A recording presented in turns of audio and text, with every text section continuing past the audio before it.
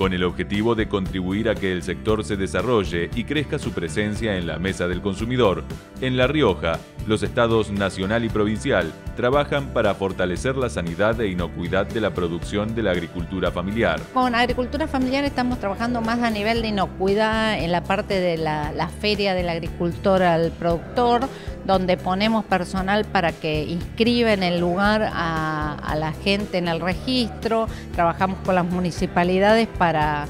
para que sepa la importancia de que se registren los productores y después poder tener seguimiento de trazabilidad sobre los productos que, eh, que presentan en la feria y los venden todos los fines de semana.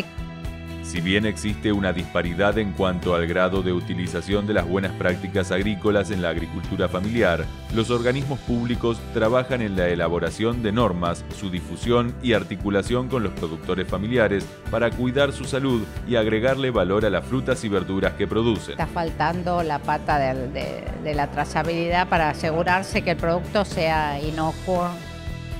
la concientización entre los productores de la agricultura familiar riojana para que apliquen las buenas prácticas agrícolas ayudará a mejorar su calidad de vida, el arraigo rural y el cuidado del medio ambiente, además de incrementar su participación en el comercio de agroalimentos, proveyendo de productos inocuos a la mesa del consumidor argentino.